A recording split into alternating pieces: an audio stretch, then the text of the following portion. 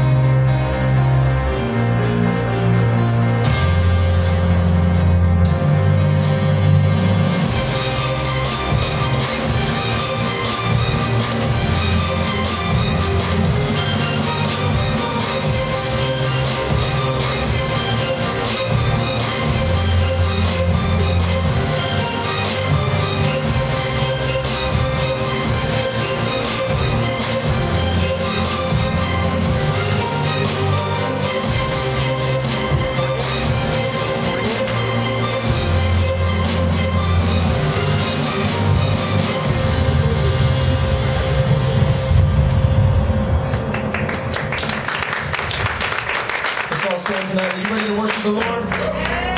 Come on, I said, are you ready to worship the Lord tonight? Come on, just lift up your hands where you're at and get the love on Him. Jesus, we just love you tonight in this place. God, we adore you, Father. There is none like you. God, we are here for you and only you, Jesus. Fill this place with your glory.